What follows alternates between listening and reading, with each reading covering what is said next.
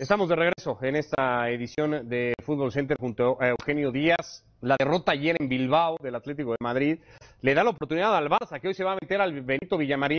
Hay que recordar que en la primera vuelta del campeonato del Betis fue a ganar el partido 4 a 3 a Camp Nou con un juegazo del equipo de Quique Setién, particularmente de los Chelsea. Si hoy el Barça le devuelve la cachetada al Betis y gana el partido, dejará el campeonato con 10 de diferencia con respecto al Atlético de Madrid y prácticamente estaría Eugenio sentenciando la liga. Sí, sí, sí, realmente hoy con tres puntos. Ya muy encaminada, hay que decir. Ya la diferencia sería demasiada, aunque matemáticamente po- podría o existe la posibilidad todavía de que lo alcancen. eh, no es factible. Digamos, es viable, pero no es factible. Correcto.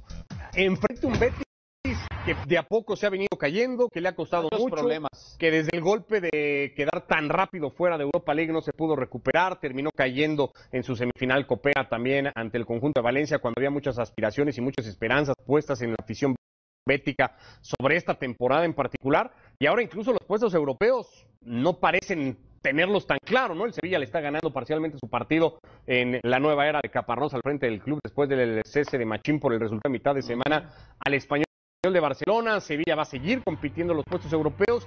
Es decir, al Betis parece que le llega en el momento, en un momento muy complicado el partido contra el Barça. Sí, al vecino ya le costó el puesto. Sí, señor. Hay que ver qué es lo que sucede con Quique Setién. Armaron, creo yo, un, un buen cuadro, hay que decirlo.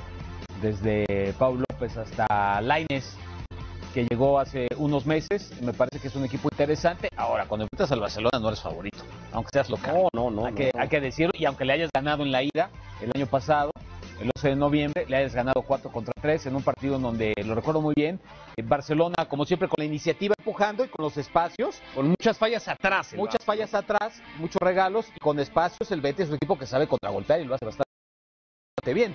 Eh, me parece que no son las condicionantes de aquel partido las que va a haber hoy. Sí, era un Barça que había perdido un Tití, que estaba todavía ajustando en defensa. No aparecía inglés para afianzarse en el puesto como después lo hizo eh, con el paso de los meses. Eh, hoy el Barça, además, consciente del resultado en Bilbao del Atlético de Madrid y Correcto. sabedor de que la victoria lo va a dejar con 10 de diferencia y ya muy encaminado. Les surge ganar. para estar tranquilo de cara a lo que viene, ¿no? Particularmente en Champions, conociendo su sorteo, viendo que la llave le puede permitir más o menos imaginarse el escenario de estar en Madrid el próximo primero de junio.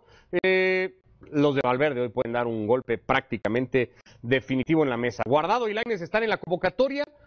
Guardado con muchas posibilidades de tener minutos y ser titular. Acuerdo. No así el caso de Lainez, ¿no? No, lo de Lainez como que dio un giro, ¿no?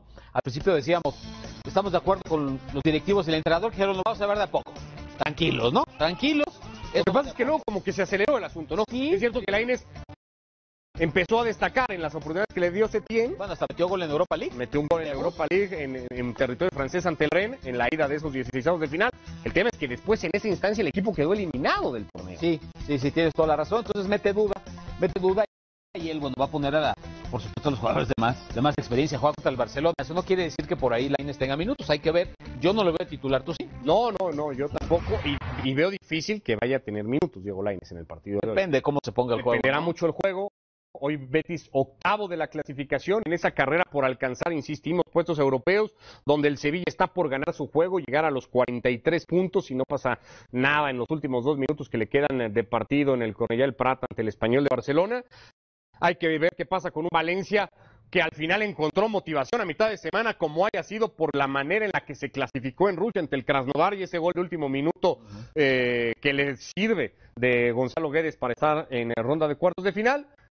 Y, y parece que el panorama hoy para el Betis es complicado. Sí, está difícil, digo. Vas contra el Barça y el Barça sabedor que si suma de a tres, casi casi se olvida de la liga, puede empezar la rotación y nos centramos, por supuesto, este, en el resto de. de al Barça, si hoy gana el partido, al Barça le quedarán los 90 minutos en este mismo estadio contra el Valencia por el título de Copa, algo que el Barça públicamente ha dicho es no, no una necesidad, pero sí una obligación, algo que queremos ganar, y luego empezarse a concentrar ya muy exclusivamente en sus series de, de Champions, primero en la de cuartos, con el bracket ya definido de cómo podrían ser sus Pinta semifinales. bien, ¿no? La temporada ¿No al te Barça se le enfilaría muchísimo en el mes. Pero hablando de Champions, ¿no te parece que las llaves pintan bien? Las llaves pintan muy bien, con esa posibilidad de ver o a Messi contra Cristiano o al Barça contra Guardiola, tal vez. O somos muy mal pensados. El escenario de. No, es un sorteo. Ah, un bueno. sorteo. Pensé que era esto, las No, bolitas no. calientes. No, no, es, es- es un sorteo.